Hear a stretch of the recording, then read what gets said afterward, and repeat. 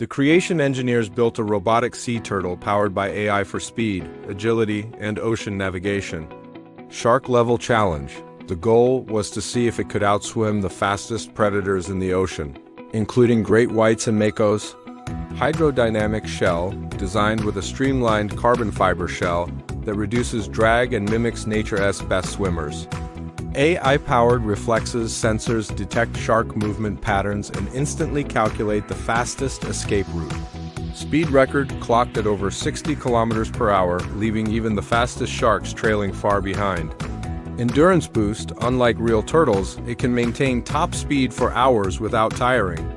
Stealth mode can switch to silent propulsion, making it invisible to a shark's electrosensory detection, Smart Camouflage AI changes shell patterns in real time to blend with coral, sand, or deep sea shadows.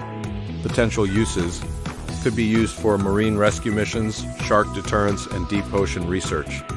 Nature meets machine raises the question if AI turtles can outrun sharks today, what will ocean predators face tomorrow?